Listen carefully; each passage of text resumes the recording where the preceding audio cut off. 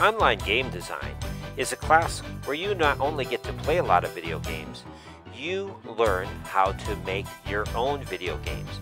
You'll be using a variety of tools, including Multimedia Fusion 2, which allows you to make a variety of games quickly and easily, as well as professional tools such as Unity and Blender to make incredible games. You'll start at the very beginning of video game history by making your own version of the game Pong. And as with all assignments in the class, you'll also have the opportunity to make your own modifications and improvements to these original games by coding your own solutions to the problems. As for example, this student created a version of Pong that's more like air hockey. You'll make such games as Icebreakers, which resembles Breakout, originally designed by Steve Wozniak, Cat Burglar, which resembles early versions of Pac-Man, as well as multiplayer games, including Pass Busters, which resembles Defender.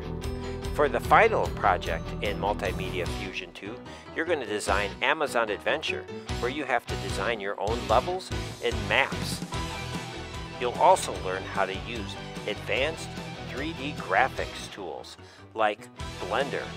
Blender is a professional strength tool that allowed students in this class to create these videos that you see here. You'll also be introduced to Unity, which is a 3D gaming IDE that's used by professionals to make some of today's top video games. Whether you're just programming simple games like Pong or advanced games using Unity, it's time to stop just playing video games and it's time for you to start making your own video games. This class will teach you how to get started.